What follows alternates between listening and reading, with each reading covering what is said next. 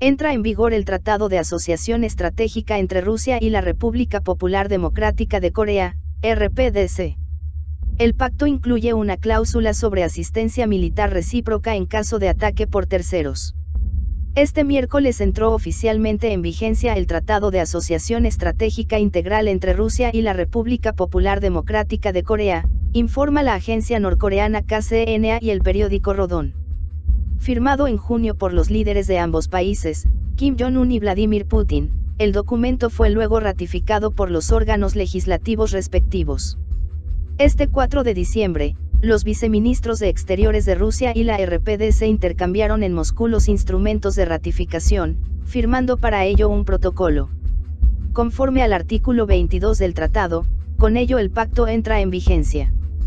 KCNA comentó que el nuevo tratado es un marco legal que permitirá a los dos países hacer realidad las aspiraciones de sus líderes, de elevar las relaciones bilaterales a una nueva altura estratégica.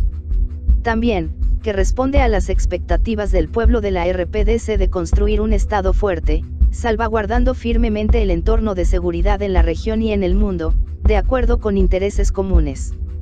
La agencia subrayó que la sólida relación entre Moscú y Pyongyang, basada en el nuevo tratado, será una poderosa garantía de seguridad para el bienestar de los pueblos de los dos países, aliviando la situación regional y asegurando la estabilidad estratégica internacional será un poderoso impulso para acelerar el establecimiento de un orden mundial soberano, justo y multipolar, libre de dominación, subordinación y hegemonía, enfatizó.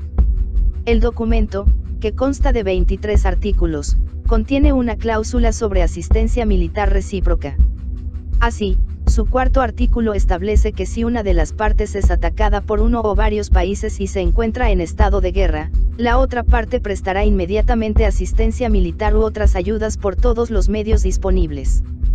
Asimismo, prevé la expansión de la cooperación en el comercio, la economía, la inversión, la ciencia y la tecnología, incluyendo los ámbitos del espacio y la energía nuclear pacífica.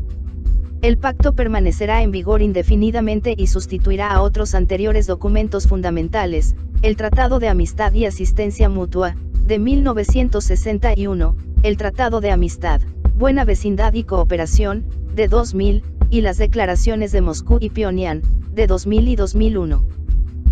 Gracias por ver el video informativo, si es tu primera vez en este canal y te pareció importante e interesante su contenido, considera suscribirte, es gratis. Activa la campanita, así no te pierdes ningún video, regálame un like y comparte, para llegar a más personas con los eventos más impactantes del mundo.